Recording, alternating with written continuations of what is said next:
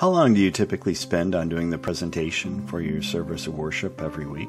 30 minutes, an hour, maybe longer? Well, however you do it, I'm sure it works well for you. But I can show you how you can do it using PowerPoint in less than 15 minutes from start to finish.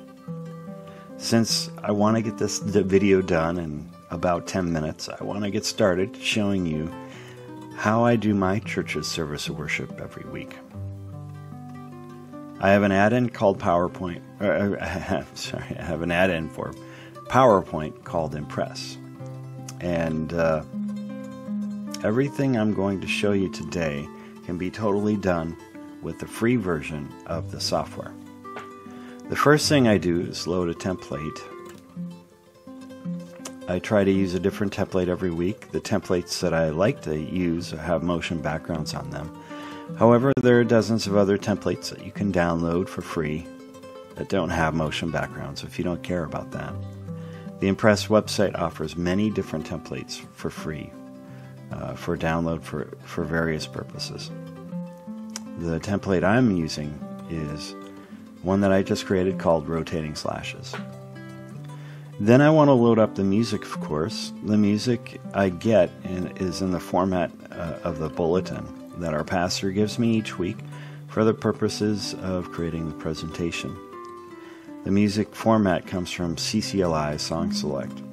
For the most part, you're just copying this directly as you can see the first song being selected has a title at the top uh, the verses and the copyright information at the bottom. So I select the entire first song and, and from title to the copyright information, copy it to the clipboard.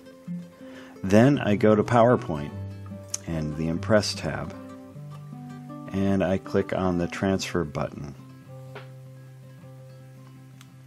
The first thing that comes up is the uh, copyright information that goes in the footer text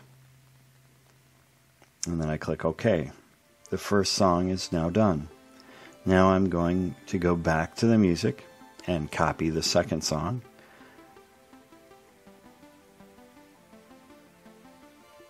All right.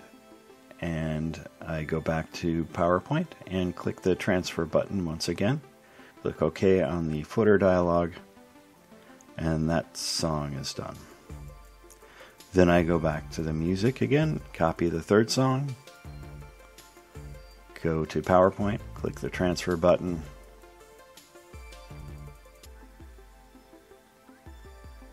click OK on the footer text, and the third song is now done. And for the last song, go select the fourth song from the title to the copyright, copy the text and in PowerPoint click transfer one more time. Alright, now I'll just confirm that this was the last song. I can delete, yep, uh, it is. I can delete the template slides.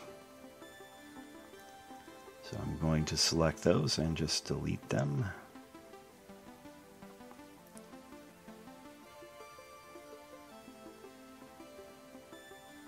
All right. Uh, so now we have all the music for the service of worship. So let me run that so you can see what it looks like.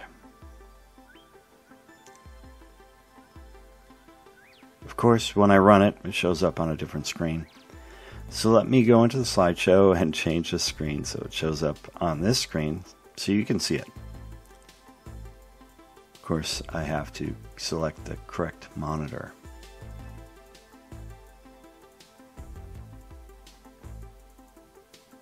There it is. All right. So this is what it looks like. It has a motion background.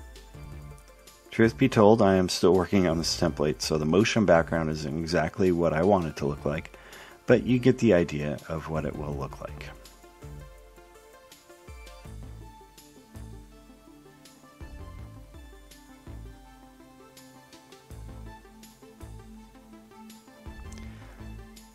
So that is all my music slides. Now I will load all my static slides that do not change from week to week. Then I will copy the first slide of that static PowerPoint and paste it in the very first slot here. And uh, that has a link to the announcements of an upcoming video explaining how that is done in the coming days. Then I will copy the slide that goes just prior to the sermon. Now, I'm not doing the slide for the sermon this week since we are having a special guest speaker and I will not get those sermon notes. Then I will copy the last few slides. All right. And um, using my mouse, I'll move the those to the bottom of the PowerPoint. Then I will show you how I do the in-service announcements.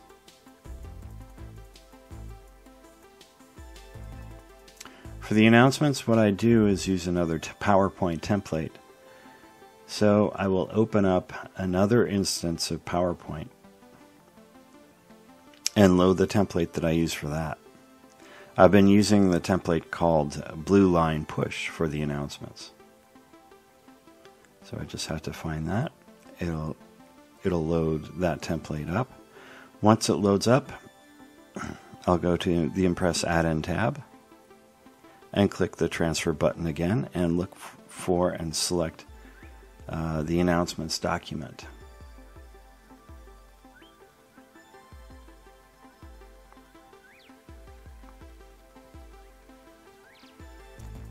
Once I click OK, it loads and up and creates the slides for me.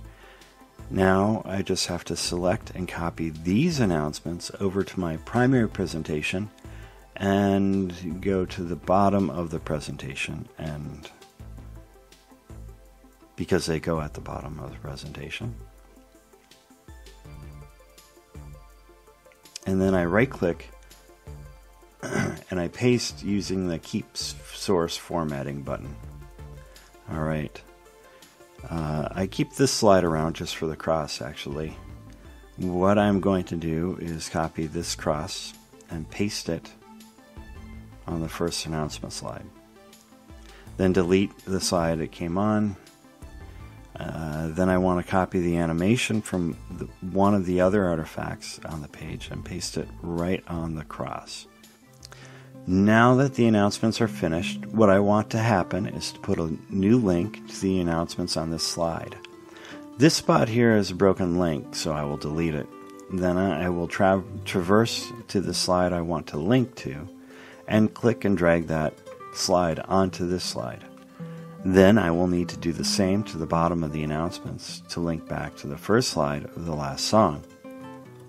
I'll drag that over onto this slide, place and format it in the proper way. Then I'll add a little entrance effect for this and make sure that it all shows up after the animations on the slide.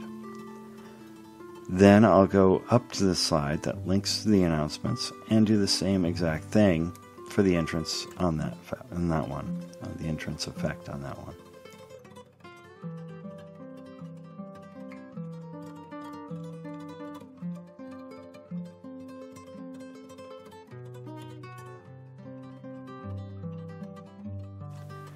So I'll show you how this works. We are on the right monitor, so I just need to click run from here. If I click on the next button, it moves directly to the song for those uh, times when the sermon runs long and we decide to skip the announcements. But if we go back and click on the link to the announcements, it brings us right to the announcements that you saw were put at the bottom of the presentation. Now I'll just zoom through the announcements quick as you get the idea of how this works. Then the last slide of the announcements, as as you saw, we added a link to the first slide of the last song. We click that, and there we have it. That is pretty much it. This is a presentation for the service of worship, and it's completely done in less than 10 minutes, right in front of your eyes, so to speak. Again, you can download the ImPPres add in software to do the same thing. Everything that I did in this video can be done using the free version of the software. Also, the templates on the ImPPres add-in website are completely free for you to download and use, of course. Please feel free to like and subscribe and leave a comment or a question on the video if you have one. Thanks for watching. I hope this has been a help.